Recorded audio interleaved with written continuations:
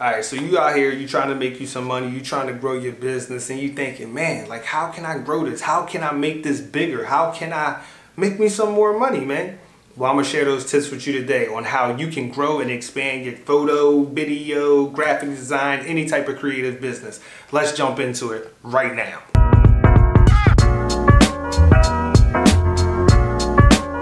What's going on guys? Welcome back to another video. My name is Jonathan Moore and on today's video I'm going to be showing you how you can grow and scale your photo, video, graphic design, any type of creative small business that you have. I'm going to be sharing these three tips with you that you can take, look at your business, and then start implementing a plan from there. All right, so how do you grow and you scale? Especially like if you're like a one-man band, right? Mm that could be tough, right? Because you know that the more business that you get in, the busier that you get, right? The more swamped in the back end work that you got to do, right? So not only are you taking the pictures or you're doing the videos, now you're editing, you're post, you're managing, you're distributing, all these other things that be coming in to the mix, and it's like, damn, I need a break.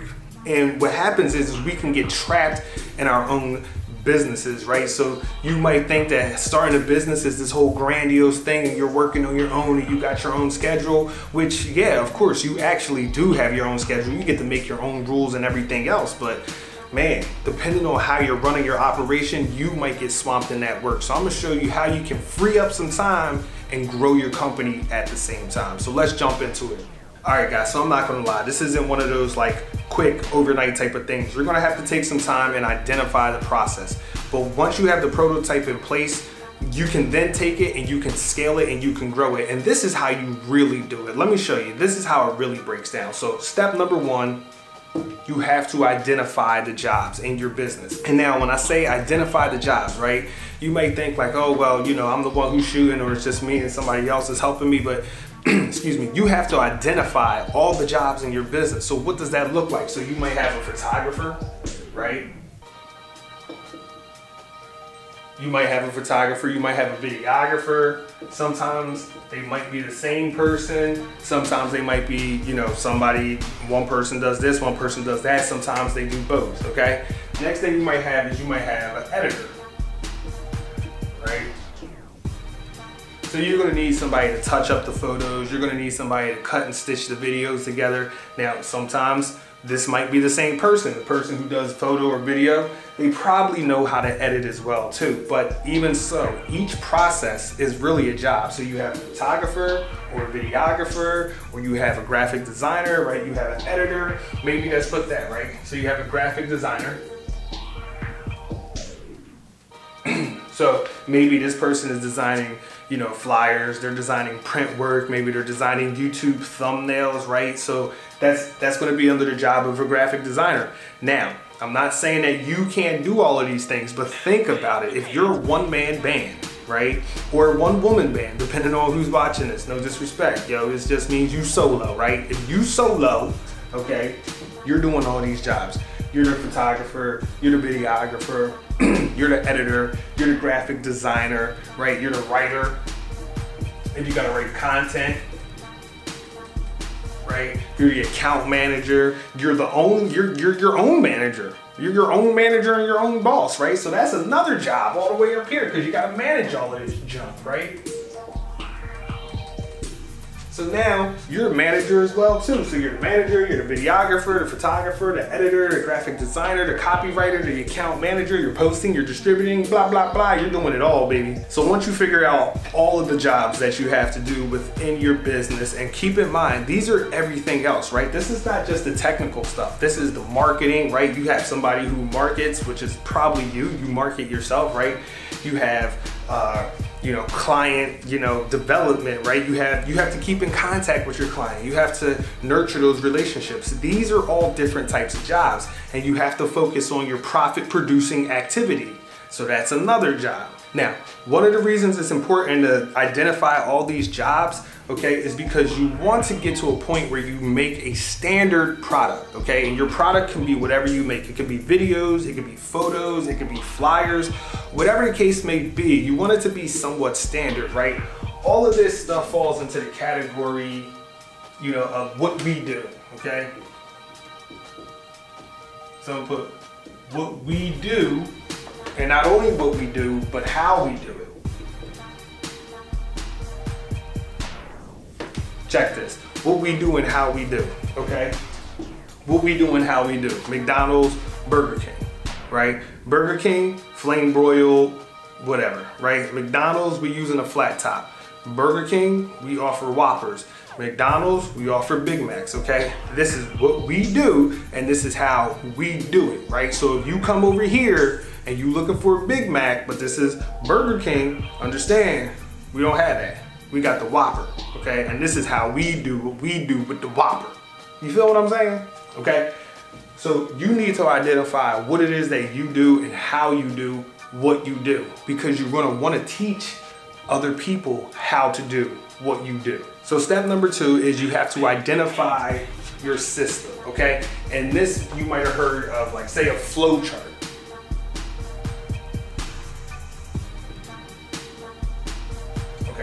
So let's say you got a flow chart, which means that, you know, from beginning to end, right, you have these different steps or these different phases of your project. So this is completion, right? This is the project is done and it's ready to go. So you have, you know, step one, two, and three, okay? And when you have a standard product, now let me show you why having a standard product comes in so handy because the standard product is gonna be the same basically every time. Yeah, there might be a couple of variations. So let's go back to the Whopper analogy, right? So let's say I want a Whopper and a Whopper looks like this, whatever this looks like, okay? The Whopper, I don't know what the Whopper has, but it looks like this, okay? Now you might say, uh, I want a Whopper, but I don't want onions on it. Not a problem. You're still gonna get basically a Whopper, you just might not have onions on. You might say, I want one with extra pickles.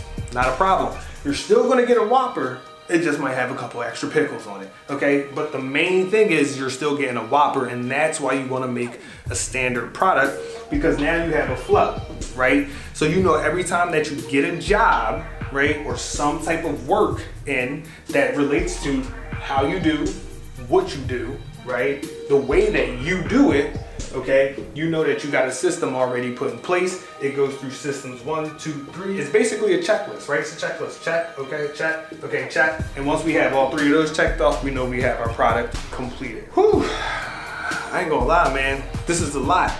But this is actually the way that it's done, man. And you know what? Think about it. Look at franchises all over the place, right? You look at franchises like McDonald's, you look at something like Burger King, Chipotle. I, I'm, I do not know why I keep using food references, okay? But anything like that, right? You don't learn how to, if, if you were to open up, let's say a McDonald's, right? They're like the easiest to pick if you were to open up a McDonald's, you don't learn how to cook burgers, right? You learn how to run a McDonald's, right? And so what we're doing now is we're moving away from cooking burgers, okay? Because we're cooking burgers, we're making fries and milkshakes and everything else. We're taking the orders, we're cooking the burgers, we're taking the fries, the milkshakes, we're sweeping it up after we're all said and done, right? This is all this right here, right? All this jazz up in here, right? That's the burgers, that's the fries, the, we're making all of that right now, okay? But we want to get to the point where we just run all of this as opposed to doing all of this, right? You heard the concept of working on your business and not in your business, right? Working on your business is figuring out a way to take all of these things here and grow the business. Okay, working in the business is just doing all of these things here, right? Just doing these things and not actually growing the business. So, I had that ass too. Okay, step number three, the last and final step is you wanna duplicate Okay, duplicate, repeat, and scale. Right? That's basically it, man. Excuse my sloppy handwriting, but duplicate, repeat, and scale. Right? Once you have your standard product, so you have product A, and it doesn't have to be one thing. You you can have a couple of things. You can have product A, B, and C, right? C could be a triangle okay? And you might have the product D, that's a circle, okay? Whatever the case may be, all right? But you have basically your standards, right? These are your standard products that you're gonna be offering, right? Whatever that is, okay? Now, You identify the jobs that it takes to put together these products, right? You identify the system or the process, right? That's your flow chart, your checklist, right? You got to do one, two, three steps to get product A. You got to do steps one, two, four, seven, I don't know, to get product B, right? But these are your checklists. This is standard. Basically, every time you get a new product, you get a new client, and you're going to fulfill their, you know, whatever it is that you're fulfilling with for them, right? You're servicing them. Your services are going to be somewhat standard, okay? And this could be the tough part for creatives because creatives, you know, they always want to make something like this and they want to, you know, they want to do something new. And trust me, I understand. You know, I always see new things that inspire me all the time. That's a separate conversation right now because we're talking about how to grow and scale your business. We're not talking about the things that you're, you know, doing in it. So that's a separate conversation, but that can be tough, right? If I say to a photographer or videographer, yo, bro, you want to make your business like McDonald's. You know how many people get offended over that? right? But that's not the point. The point is, is so that you can scale and grow the business, right? Because it's like if McDonald's works here, it's probably to work here, and it's probably to work here. So whether you're in New York or whether you're in LA, a Big Mac is a Big Mac, right? It's, it's all the same, but we can duplicate and scale and repeat it. Now, I understand if you're in this solo because a lot of this stuff is attached to your name. So I get it. So you want to have people who are going to create things that reflect your, your, your quality, your standards, okay? But however you make your system, you want to make it easy so you can teach somebody quickly how to get in there, right? Because let me tell you something, if you lose somebody, right? Let's say you get this bad boy juiced up and it's firing and it's rolling and you lose somebody, okay? How quickly can you replace them, put them into the system, drop them into the system, right?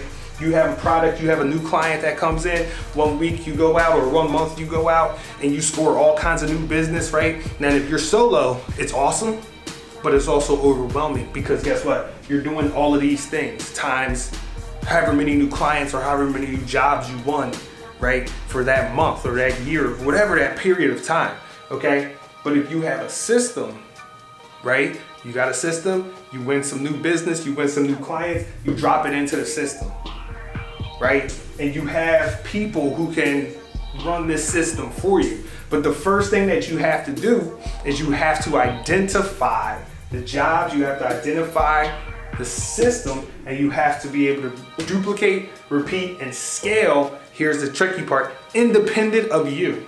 Okay? So here's you,